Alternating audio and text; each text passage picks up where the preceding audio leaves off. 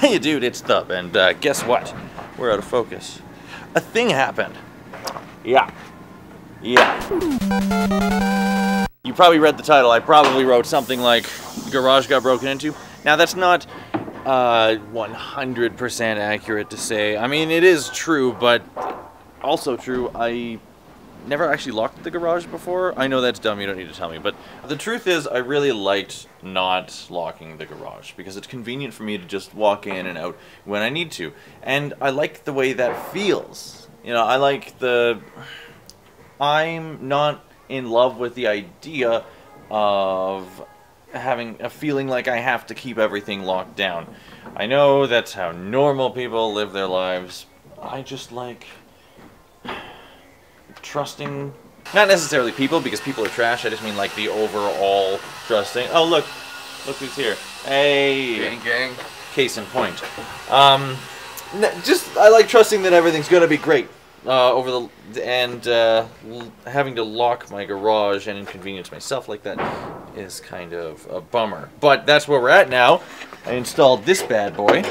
Okay, so here's the story. We used to have there used to be a really nice collection of bottles here. You know, this bin had a bag full of them, and then there was a really, really big bag right there. You'll notice that that's currently not the case. So what happened, I came home, and uh, this door was kind of swinging. No, I got up in the morning, this door was swinging, and uh, I looked, and this bin was empty. Uh, so that was a bummer. And I went and uh, mentioned that to the fellows at the Bottle Depot to keep an eye out for the bag because it was kind of a unique bag. And uh, went about my day. And I wasn't quick enough. And the following morning, the door was swinging open again, and the other bag has gone missing. So, um, although I should have been quicker about it, I went and set up whatever. It was like probably max 50 bucks worth of bottles, but it's not really about the money, is it? It's the principle. The principle of the thing. So now I've got a lock here. The same thing happens with my car because I am known to frequently uh, not lock the car, and occasionally I come out to it and it's been gone through and everything has been thrown everywhere. But I find it kind of funny because just like the garage, there's nothing in there but trash. Like literally all trash. Um, that being said, uh, anybody who watches my channel knows as well as I do that trash can be worth money. And apparently so does our invader. Yeah. Vigilante justice is what needs to happen. Yeah, we're not entirely sure what we're gonna do. We're gonna pull him aside. We're gonna have a stern talking with him and or her. We're gonna we're gonna sternly talk the heck out of him. Yeah, with our fists. Hey! so after the lock, I figured that would protect things, but then I come home today, and looky here. Look at that gap, eh? Pardon my French, but That doesn't normally sit like that. It's been adjusted. But he really messed that up.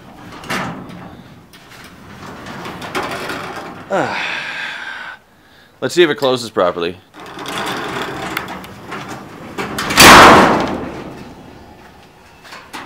does it lock? Yeah. Ah, back to normal. Wait. You literally pried that up. That's not cool, man. When our safety in our own house is jeopardized because someone wants like 10, 12 bucks, like. I don't know what they were after because they already got the bottles, which are the most valuable part. I mean, I guess there's a little scrap metal, but you guys already saw I brought in all the good stuff already, so there's really nothing good left here. Brought all the expensive tools in.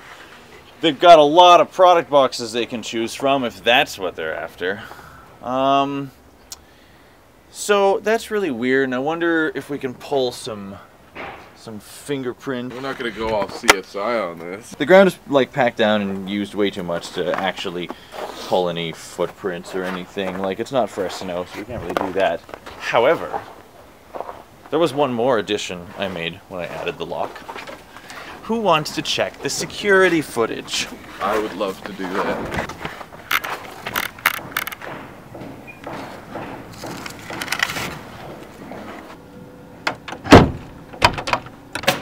Struggle Nation. This is a trail camera, so it's the sort of thing that you would lock to a, uh, a tree or a fence or something like that to keep an eye on different trails and animal runs to, to know what their patterns were. So you track animal movements is basically what this is for. I just want to use it to keep an eye on human behavior. It's got a motion activated shutter with an infrared flash, so um, it'll just instantly start firing off photos as soon as something moves in its field of view. Um, it's silent and it's the flash is invisible to the naked eye, like you saw in footage earlier. I actually found this legitimately in a dumpster. Um, it was not in good shape.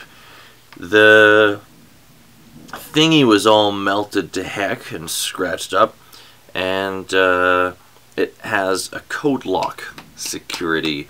Um, okay, this thing sells for like 600 bucks. So it's not the kind of thing that you want to just leave lying around.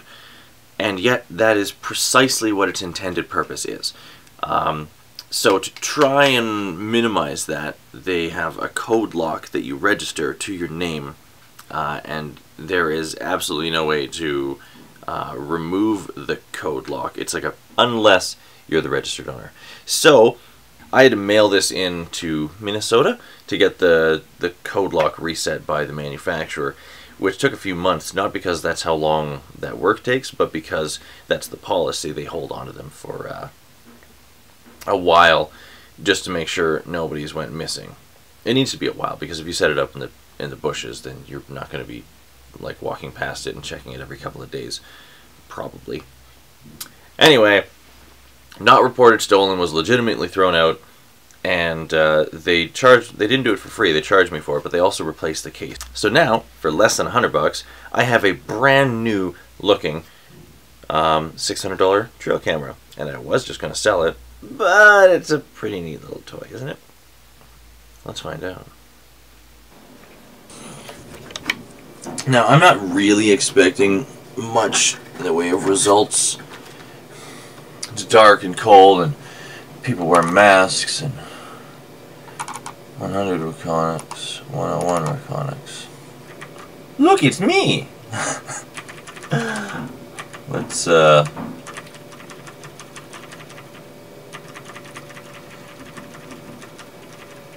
Now...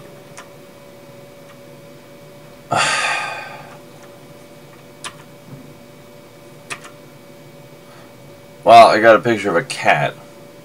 See, I'm going to have to fiddle with some of the settings. That was the problem here, is I'd never actually used it before. I was kind of planning on selling it. And uh, then this just uh, came up, so I quickly slapped it together. Looks like I got a... Is that a bird?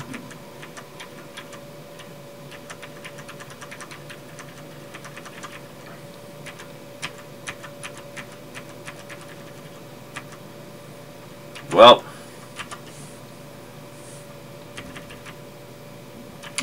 works great during the day.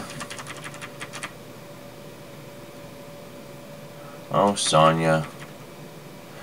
Oh, there's your boy coming home. Oh, and there's us saying hello.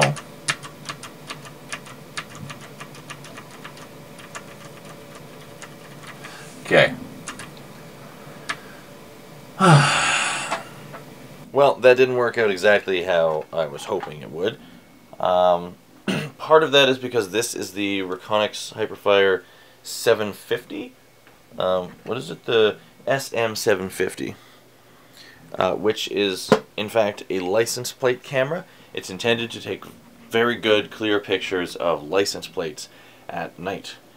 Um, so it's not the best thing for nighttime security photos. However, it still does take really good daytime photos. I might keep it. But I think what it would be smart for me to do would be to sell it and get a cheaper, um, like you can get trail cameras for like a hundred bucks.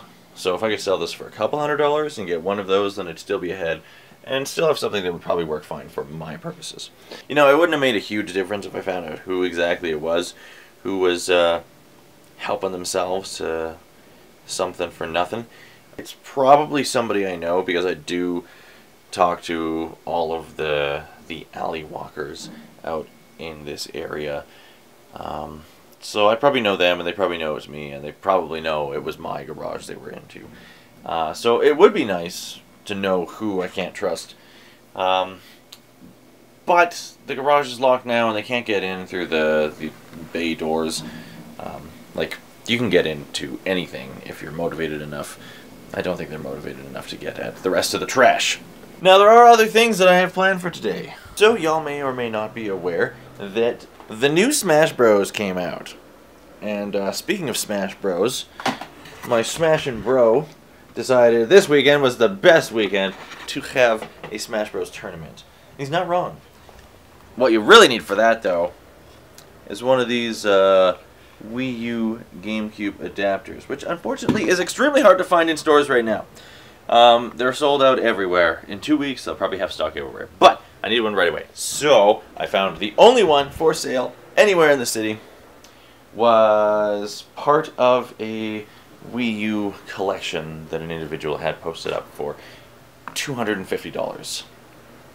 Pretty reasonably priced when you consider how much was in this box. I wanted to buy just the GameCube controllers and the adapter, but uh, she wanted to move them all at the same time. So I just decided, screw it, maybe if she'd work with me on the price a little bit. Ooh, it's so pretty. Yeah, I got it for 200 bucks. She gave me 50 bucks off. That included two of those Pro controllers, the adapter, that's 30 bucks, four OEM Nintendo GameCube controllers, and all of this other good stuff. That's the console, the thingy, all of the power cords, um, five games. There was a sixth game, but it's, you know, it, it's scratched up and dead. Forget it. And four Wiimotes, two of which have the Motion Plus. I'm not going to spend too long trying to explain the values of those things. For those of you who are familiar with video games, you'll probably be aware that that's a pretty good price. I think I can get my money back for that. You may also recall, a little while ago I found a Wii in the trash. It wasn't just a Wii, it was full of stuff. Have a dig. And it included Disney Infinity, Portal, these, and one of these, which I totally forgot about. Um, and a whole bunch of non-motion plus Wiimotes. So here's the plan. I'm going to swap out the stuff that I do want from this box um, with a bunch of the other stuff that I'm not as interested in. And I think I should be able to make back my 200 bucks, but still keep the stuff that I do want. Fingers crossed, because I don't think now is the greatest time to try and sell a Wii U. It's now much later, and we worked to clean this area up a little bit. I think it looks a lot nicer. Ignore that stuff on the ground there. Uh, these controllers put them up for 25 bucks a piece or 80 for the set. That's Canadian if it seems a little high. But these are original, and they're like super tight, all of them. They're really great shape. Now is probably the second best time in history to be selling GameCube controllers, so uh, fingers crossed on that. However, I ran into a bit of an issue. Of course, you got to test stuff out before you list it for sale, and I'm glad I turned this on because I found a copy of Smash Bros. Uh, 4 and the disk drive. Unfortunately, we'll move the analog stick. Oh, oh, hello. Yeah. It's got some drift. That's not an uncommon problem.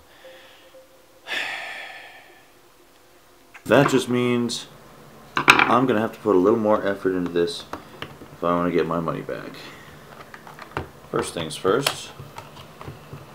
Battery out. This little guy has a lot of screws.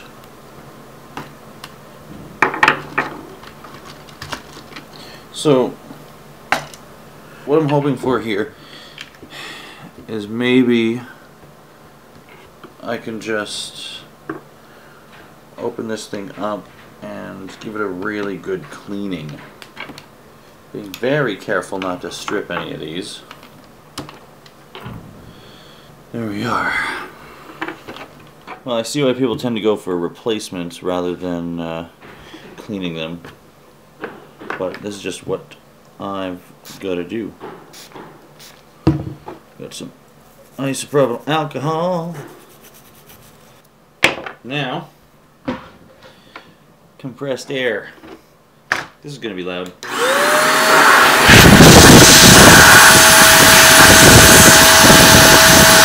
It back together and see if it uh, works any better.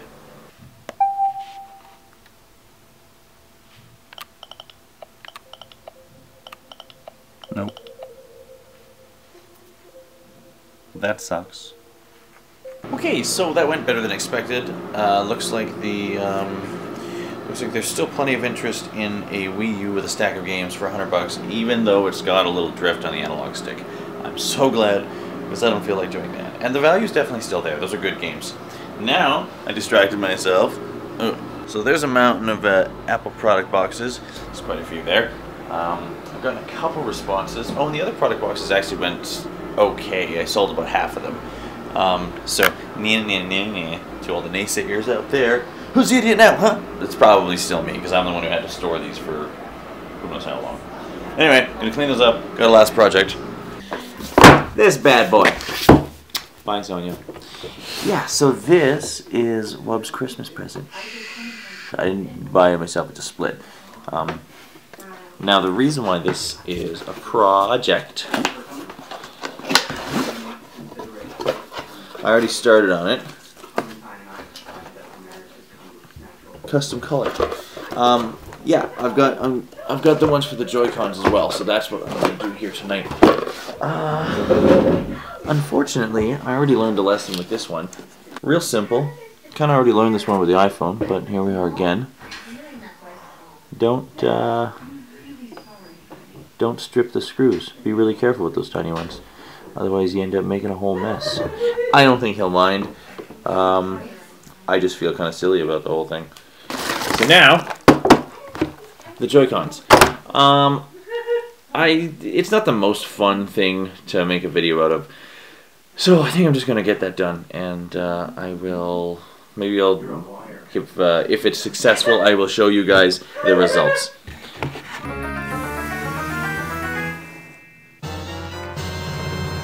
Besides that, I think that makes a pretty pretty decent day. Um, not everything goes according to plan, huh?